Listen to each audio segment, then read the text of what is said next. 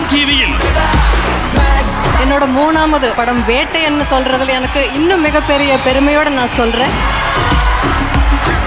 மஞ்சு வாரியார். வயசான கேரக்டர் ஆ கரெக்டாக இருக்கும் சார். அதுக்கப்புறம் ஷூட்டிங்கில் பார்க்குற நம்ம என்ன பழி வாங்கணும்னு சொல்லிட்டு அவங்கள போட்டிருக்கீங்களா?